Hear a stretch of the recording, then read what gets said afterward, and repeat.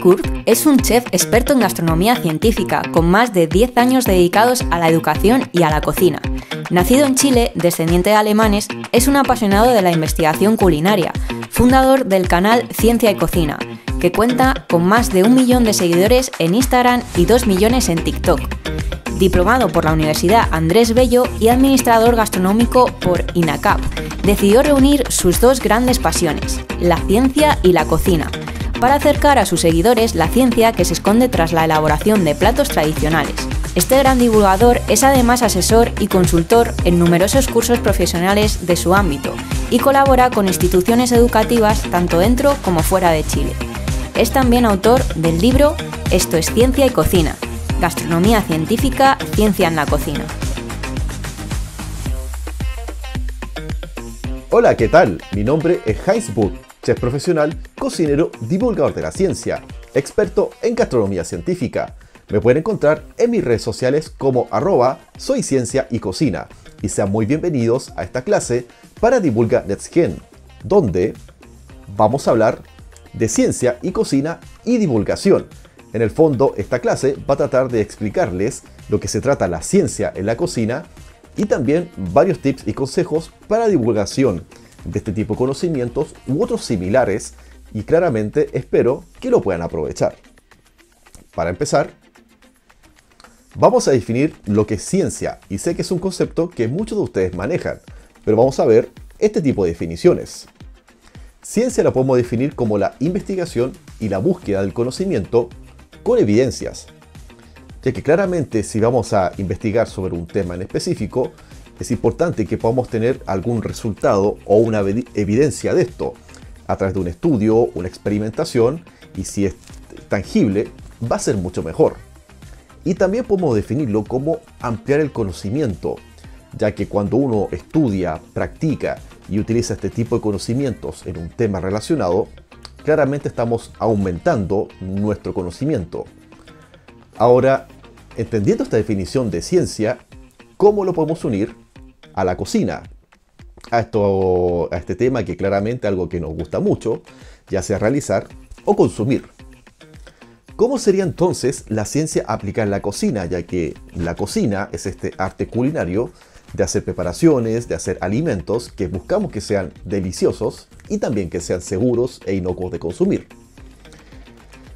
Y la ciencia en la cocina habla del conocimiento científico de los procesos culinarios, ¿Qué significa eso? Que entendamos que cualquier proceso que estamos haciendo dentro de la cocina, ya sea cortar un alimento, aplicar una cocción, freír un huevo, hornear un pastel, todo ese tipo de procesos puede tener un conocimiento y una explicación. Y también podemos definirlo como el estudio de los alimentos antes, durante y después de su cocción. Ya que entendamos que cuando tenemos un alimento, ejemplo una zanahoria, esta es bastante firme, bastante dura, simplemente por la cantidad de celulosas, hemicelulosas y pectinas que esta tiene, que le dan esta firmeza. Y si le aplicamos la cocción, estas se van a ablandar. Y hay que entender por qué sucede eso. Similar a lo que ocurre con un huevo, con el huevo que es este material bastante más viscoso y algo líquido, cuando le aplicamos cocción, este se endurece y hay que entender por qué suceden todo ese tipo de procesos. Ahora esto va más allá de un tema de ser bioquímico o, de biotecnología. Es entender cómo este beneficio, este conocimiento puede beneficiar ya sea a quien está consumiendo o quien está cocinando. Y sobre todo es algo que se enfoca muchísimo en el profesional gastronómico.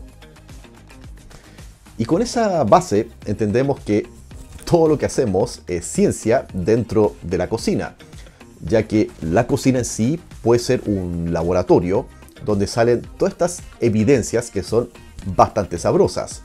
O sea, por ejemplo, si hacemos una receta, la replicamos al pie de la letra y nos resulta algo que nos agrada bastante, ahí hicimos un, proceso donde después del estudio viene este resultado, viene esta evidencia y las evidencias en la cocina son las que son las más sabrosas en comparación con otras ciencias.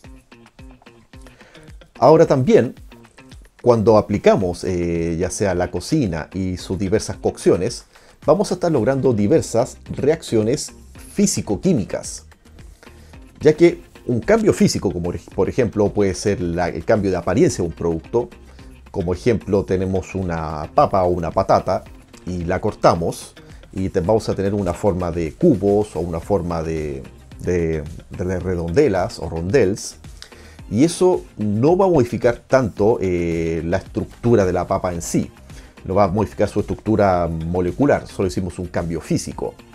Ahora, del punto de vista cambio químico, es cuando ya modificamos totalmente su estructura. Ejemplo, aplicando cocción a esta papa, que es bastante dura, firme y de un sabor que no es muy agradable cuando está cruda, si le aplicamos cocción va a ser bastante más blanda, va a ser bastante más sabrosa y apetecible, sobre todo digestible. En el fondo, lo que sucede en la cocina son diversas reacciones físico-químicas dentro de nuestros alimentos. Por ende, es difícil clasificarlo como solo físico o solo químico. Todo lo que hagamos, ya sea desde un sencillo corte, va a cambiar su apariencia, va a alterar eh, su sabor, su aroma, entonces todo puede ser resumido como diversas reacciones físico-químicas. Y es importante comprender que cuando nosotros eh, hacemos una receta, eh, seguimos unas cocciones a través de sus, diversas técnicas, todo lo que pasa tiene alguna explicación y algún fundamento. A modo de ejemplo, cuando agregamos limón a un pescado para hacer un ceviche o algún tártaro, este va a alterar su apariencia, va a alterar su apariencia a través de diversas reacciones físico-químicas, que va a parecer que tiene cocción, pero no es una cocción en sí, ya que cocción en, el concepto culinario se define como la aplicación de temperaturas térmicas que van a modificar su estructura. Y cuando agregamos jugo de limón no estamos añadiendo temperatura, estamos añadiendo un medio ácido, que va a parecer que le aplica cocción, pero no lo es. Lo que sí podemos decir es que está cocinando el pescado, ya que cocinar se define como preparar y aderezar nuestros alimentos. Toda acción que hagamos, toda técnica, todo proceso, estamos cocinando. Y cocción siempre va a tratarse de aplicar temperaturas, altas temperaturas que vayan a modificar claramente la estructura, el sabor y la apariencia de nuestro alimento. Pero también este concepto de fundamentos lo podemos utilizar cuando hacemos una receta y no nos funciona.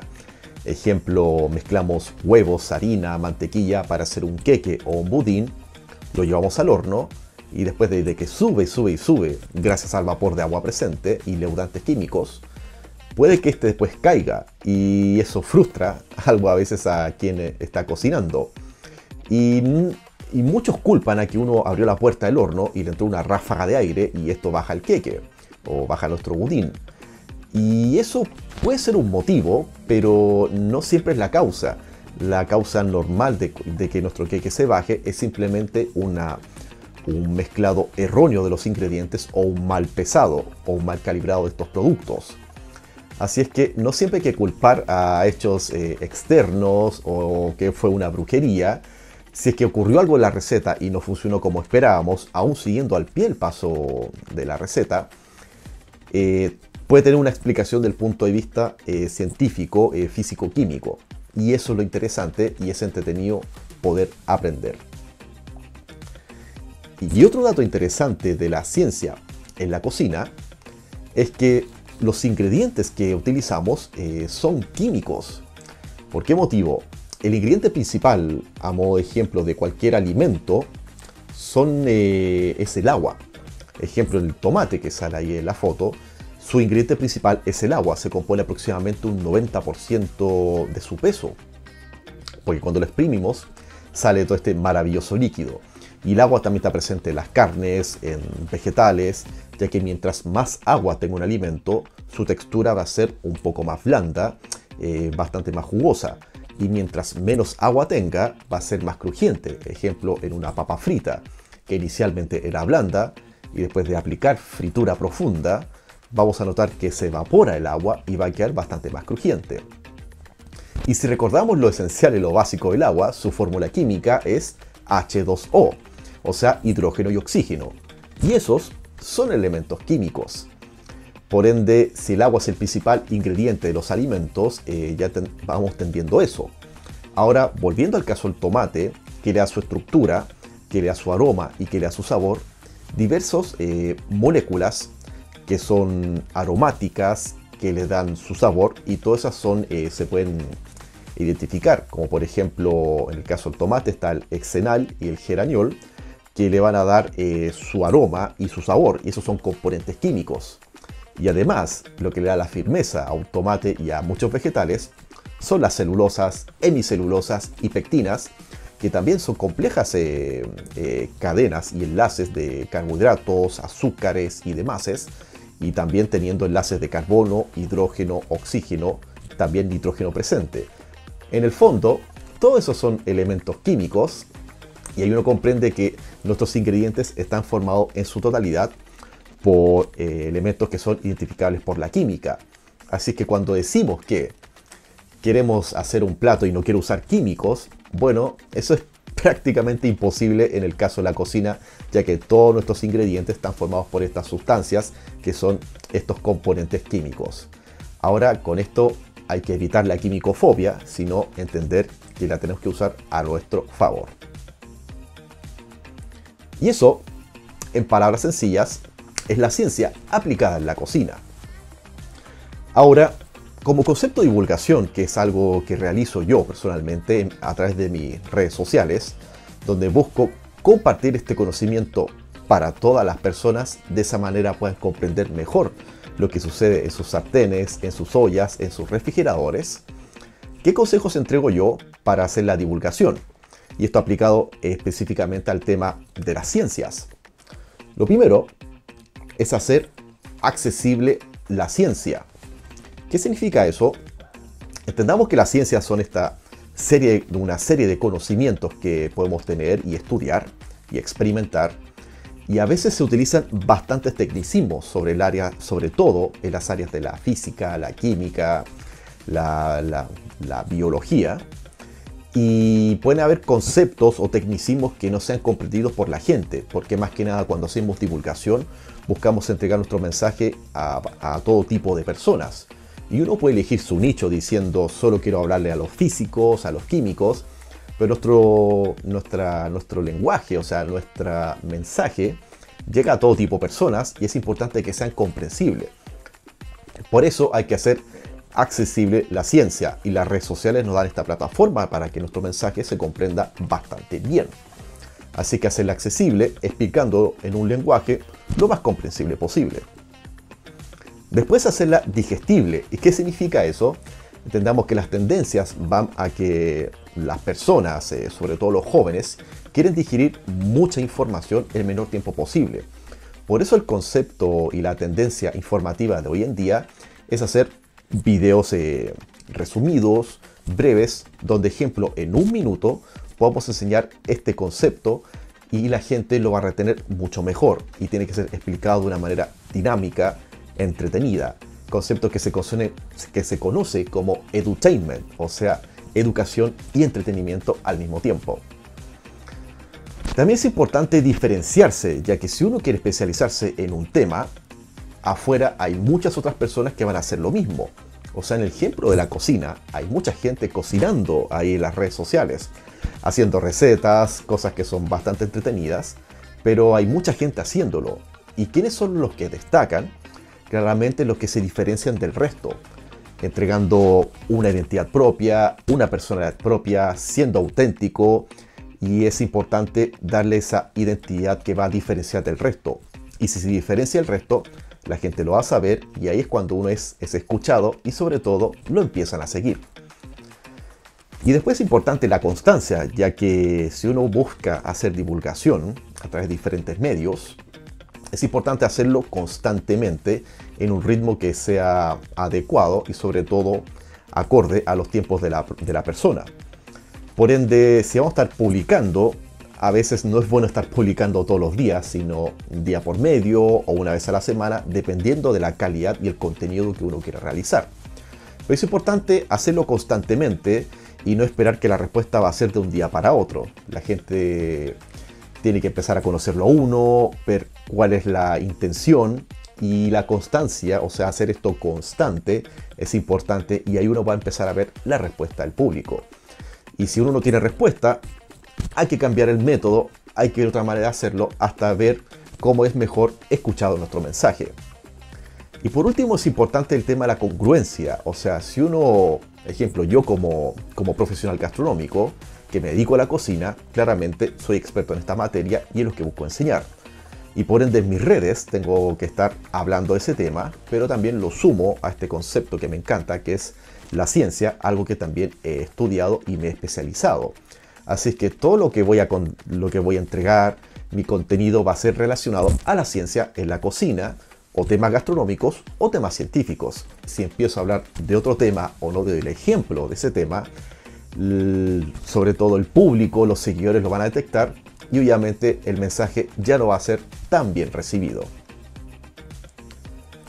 Así es que con esto estoy eh, finalizando esta pequeña clase que espero hayan disfrutado y hayan aprendido. Como resumen, hablamos de la ciencia en la cocina, donde se trata de esto, de entender cómo funcionan nuestros alimentos y es un conocimiento que puede ser entendido y comprendido por todas las personas, tanto estudiantes, profesionales como aficionados a la cocina o gente que le guste comer.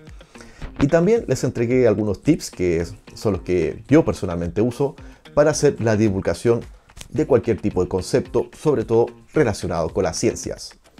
Soy Heinz Booth y fue un placer haberles realizado esta clase. Nos vemos pronto.